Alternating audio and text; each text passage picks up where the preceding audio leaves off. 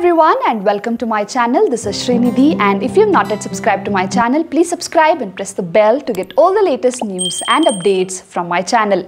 Priyanka Chopra shared a glimpse from a Karwa Chauth with her husband Nick Jonas in London. The picture captures Priyanka sipping water while Nick holds glass for her and Priyanka's mother Madhu Chopra was connected over a video call while holding their puja thalis and another picture shows Priyanka sitting on a couch smiling while reading a note with Nick's name on it. She also gave a glimpse of her minimal mehendi design and in the last picture Priyanka and Nick were seen smiling their arts out.